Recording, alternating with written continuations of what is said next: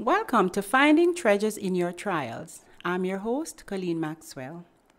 This is where we talk with other members in the body of Christ about challenging situations that they would have gone through, and through it all, they would have unlocked the treasures in that situation as it relates to God's Word and where God is inside of that challenge.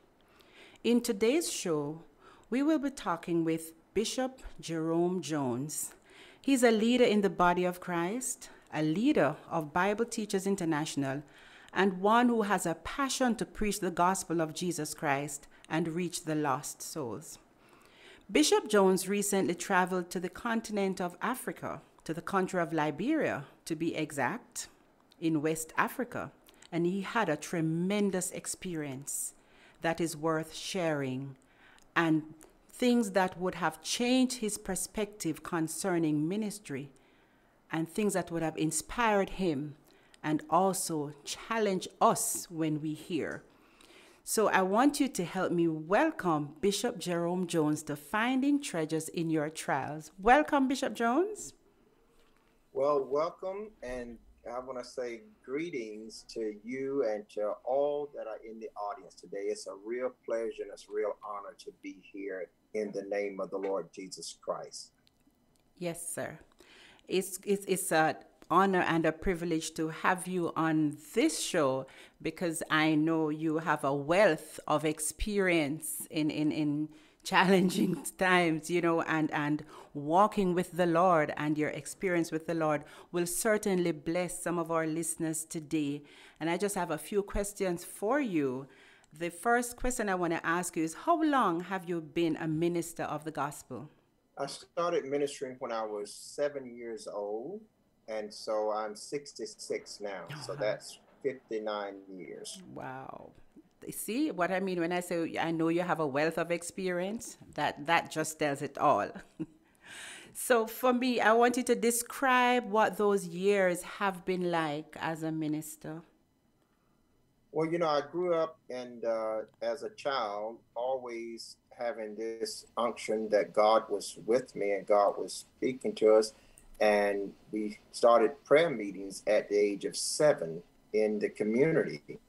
And as we grew up and went through school, you know, we went our uh, done the usual things, mm-hmm. and we didn't really get committed to serving the Lord and wholly submitting ourselves to this calling until we were about 16 years of age. Mm-hmm.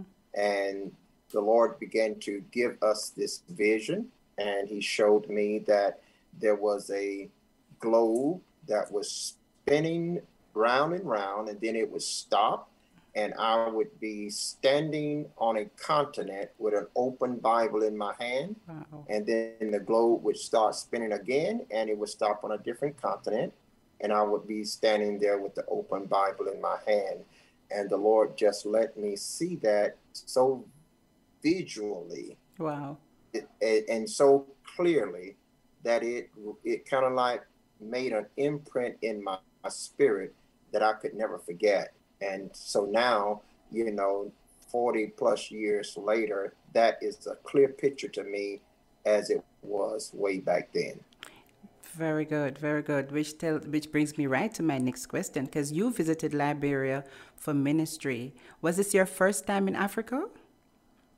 It was my first time in Africa, and I I was in. I've been in missions before. I've taken other missions trips before, and I to to set up what was my experience in Africa the thing that literally changed my life, because uh, I had been preaching for 15 years uh, when I took my first mission trip to Central America in Belize. Okay. And that trip forever change my life. What I thought was the service of God, it changed how I saw God uh, in His full form of ministry. Mm-hmm. It just done something to me that I don't think anything else had the ability to do. When I come back from Belize, I was a totally different person. Uh, I saw the, the, the what ministry truly was, and I watched God work Mhm. in such a way that I had not seen before then. Yes. So that that was the my first thing, and then so that stayed burning in my heart. And all the while, this vision that God had shown me when I was a, a child was still visually before me. Yes. And so I just knew that God would call me to, had called me to world missions. And I started a worldwide broadcast that used to broadcast all over Europe and Africa and, and Asia. And then I started doing television broadcasts in the United States. And I just always could never get away from evangelizing, from the, the, the, the sharing of the gospel Mhm. and the desire to see men and women come out of their darkness into the light. But then beyond that, to help them in their growth, to help them in their being established in the gospel, and to minister to their needs as well. Because I saw a lot of, lot of needs that sometimes we don't pay attention to, but it it was so real, and I realized that I had to help more than just stand on the platform and preach. I had to do that. Mhm. And one of the one of the interesting things, and I'll say this and I'll pause, but one of the things in Belize that I found that these people would walk two and three days just to get to the meeting. Wow. They were they was like they they, they were stuck in the 1800s Okay. compared to us. And they would still walk and they would sleep side the road and they would come there and they would have to eat. They that was the first place I noticed outside of Haiti that they had to eat uh, rice uh, or, or beans out of a hand, and sometimes there'd be six or seven people eating out of that At one pan, time. and one person would be holding that food and just getting little small pieces. And then those same people don't want to give me an offering. They want to give me their coins Mm. Wow. for an offering, and I just it just kind of done something to me like says, oh no, these people really got the message. They understand. They even in their impoverished state, they really want to be a blessing to me. And I looked at myself and I said, in all the days of your walking in ministry, do you have that kind of a heart? Do you have what you're looking at right now? And I had to really say I didn't I didn't have it like that. Okay. I really didn't have it like that. And so that's what's the, that was the change in me. And on that trip, God allowed me to uh, get that kind of a heart. And I, I said, God, I never want to lose this. And I'm so thankful to this day, we are still of that same mind. Wonderful. So this trip to Belize, how long ago was that? That was about 30 years ago, right about 25 years ago. Okay, okay. So then I, I back to your vision about being on the globe and stopping at a continent with a Bible open. Was your trip to to, to Africa motivated by that or what inspired you to go? It was indeed motivated by that. I remember coming, leaving Florida one day, and I was leaving Florida, coming here to Texas, where I'm now at. Mhm. And I got here, I walked in, and I said to Apostle Banks, she was with me, I said, Doc, God's sending me to Africa. And this was when I didn't have no contacts in Africa at all. Wow. But I heard Abakasa. I heard the Lord say to me, "It's time now to go Yes. and to get to get ready to go." So that, with the vision and what I heard God said, I just said, "Apostle Banks, God is sending me to Africa. I don't even know anybody there." And true to that, it just continued to burn in my heart. And then God allowed me to. Uh, someone reached out to me from Africa and it's just a miracle of God. It was God putting it together, but that's what it, it really uh, ignited my passion to go to Africa. Okay. So there was no doubt in your mind whether or not you should go. There was no doubt. I had lots of challenges getting ready to go. And I'll tell you, you talk about finding treasures in your trials. Yes. Uh, what an amazing line that is. I've been kind of listening to you and I've been kind of listening to that. And I thought, my God, that is just absolutely amazing Yeah. because it it speaks to what happened with me before I left the United States. Um, on Christmas Eve, uh, I was here in this same room that I'm in now, and when I they there was a festivity going on downstairs, and so I made my way back to my room here, and in that day, I literally nearly died. Wow. Um, I was here in the bed right there, and I was shaking like, you know, from head to toe in a fetal position. My teeth was just chattering Mhm. back and forth. Um, I was just a total mess to the point of dying. And then I see myself, I like got out of this body where I'm looking at myself down there, and I said to myself, You're dying Wow. You're just you're about to die. And i'm thinking doc gonna come in here and see me dead. They're gonna see that i'm dead and gone. And uh but while, while i was there my lord while i was there i saw me standing in africa. My Jesus. and when i saw me standing in africa i uttered these words you cannot die now. Hallelujah. And you know, immediately, it, like a vacuum, I went back into my body and I pulled myself up and I says, I'm gonna make my way downstairs and I'm gonna try to, I'm gonna go ahead and cook breakfast for the team. It was Christmas morning and I'm gonna cook dinner for the Christmas dinner. And I get downstairs and I it got in the kitchen and all of a sudden I just slumped over on the counter and Colleen Peart was here, Mhm. And she tried to carry me upstairs, but she couldn't do that. and so we she had to carry me over to the sofa, and I laid there, and that's where I would stay stay all day, Christmas day and night. And I was so sick, and and I wasn't getting better, wow. and it looked like everything was against me going to uh, Africa Africa. Uh-huh. and people was telling me I shouldn't go. There was people saying you're too sick to go. They saying you don't you need to reschedule. And but I said I would not because I saw myself standing in Africa ministering the word. And I, I must not abort this mission. And and you know, I was sick all the way. I had to get the COVID test, and I was sick all the way. I thought I was gonna come back positive with COVID and everything else, the way I felt. Yes. But you know, the day that I got on the plane, I was still sick, but we got on the plane and I kept saying, This is just a trial.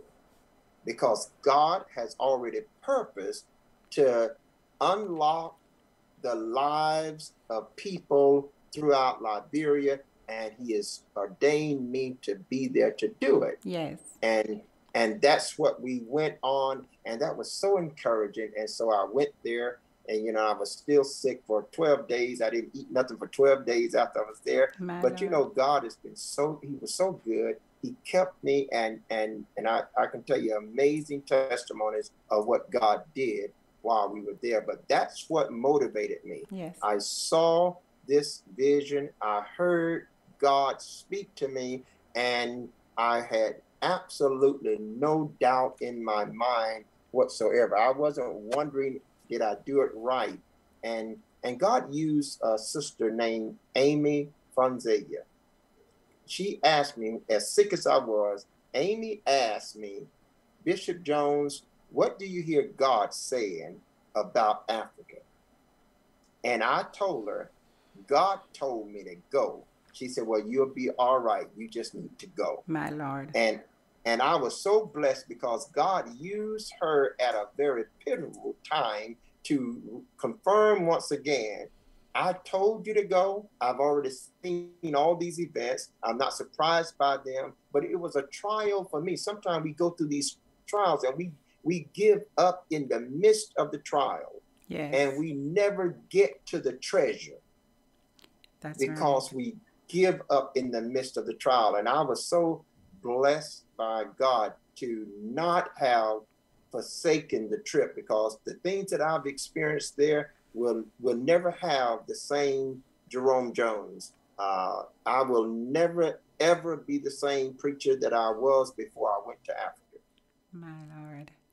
That's the great commission. That's the great commission. Go ye into all the nations, and you stood on the word of God and you went. Nonetheless, despite the challenges and the obstacles that came, you believed in the word of God and you went. So tell us or tell the listeners about your experience from the flight to the ministering on the ground. This is now where you're going to tell us all about your little experience right there in Africa, Bishop.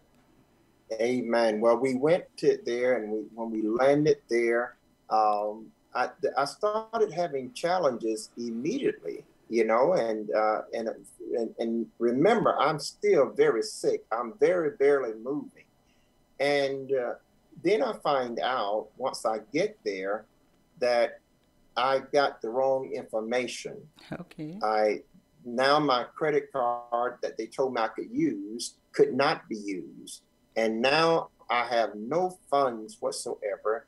I cannot pay the hotel. I cannot purchase the football field. I can't buy the lights that we need. I cannot pay any of the engineers. Wow. So I'm I'm really there with not even money to eat with. And uh, one of the ministers asked me, they said, Bishop Jones, we need to cancel and let people know because it was now two days before the crusade starts. Yes. And they said, we need to cancel because we don't have any of the platform materials. We don't have any lights. We don't have any, we can't pay the engineers and we can't get the chairs because we had to buy all that stuff. And it was a few thousand dollars. And they said, so we need to send out a notice, some kind of way let people know or put up a big sign out there by the road saying the crusade is canceled. And when they said that to me, the Lord said to me, don't cancel the crusade. Okay. And so I said to them, don't do that. They said, well, what are we going to do? I said, well, I'm going back to the hotel and that's it. And I couldn't give them no other explanation. I said, but plan on starting the crusade on time. And I went back to the hotel and I sat there in that room by myself. And I said, Lord, you sent me here. I said, when I when I was in America, I was in a home, a place that I had whatever I needed. Yes. I said, but now you sent me here in spite of my being sick, in spite of all that I've experienced so far. And now I'm here and there is no funds. And we are two days from the crusade. And the Lord said to me, Am I a God All that right. is limited to time? Yes. And so when he spoke to me, I said, Well, okay, we I'm gonna make plans, I'm gonna keep going like we're going. And do you know I spoke to a person, I called up a person and I said to them, Let's plan for the crusade, have everybody there on two days from now. And I said, Now what I want you to do is go down to the market, tell the people at the market Yes. That there is a bishop here from the United States of America, and he is here to do a crusade, and he was going to buy these supplies from you. Tell them to give you the supplies, and tell them that this bishop will pay you later on. Okay. And and they said to me, they don't do that in here I know, right? because you may go back to America and we don't have nothing. So they're not doing that. And I said to them, because I heard the Lord said, tell them to do it. And they, I told them they went and did it, and the store owners gave us all the things that My we were going to buy from them. And we were able to build the platform. We were able to get the lights. We were able to pay the engineers. They gave us all of those things. And, and I didn't pay them until four weeks later. wow. So so God just showed us in that moment that I sent you and I am the one that will make provision Yes. for for everything to be done. And it really comforted my heart because uh, but then immediately I began to think, well, I still don't have any money to get anything to eat. I can't eat none of the food there, and I have no money to buy anything to cook, and I not even pay the hotel. And the Lord just said to me, You just rest in me. My Lord. And and as I did, I I, I began to do broadcasts and explain what our situation was. Well, God reminded me of the word that He gave me while I was here. He says, I put it into the hearts of people to support this mission. Yes. And do you know, God sent people from all over America, throughout Jamaica, through Canada, all of the Reformation, and all over that were not a part of Bible Teachers International down at the Father's house, AME Baptist organization. He sent people that would send us money to finance that entire crusade. And and so we so we know that God did, and that's just that part of it. But then God did miracles in healing people on the spot. Yes. Right there, a, a person, my Lord, a person fell out and was in convulsions, and God just healed them just in just a moment, just like that. They came up shouting, Hallelujah, mm. praise the Lord. Yes. God God cast out demons in the crusade. Mm. That people was just all wrapped up in demons.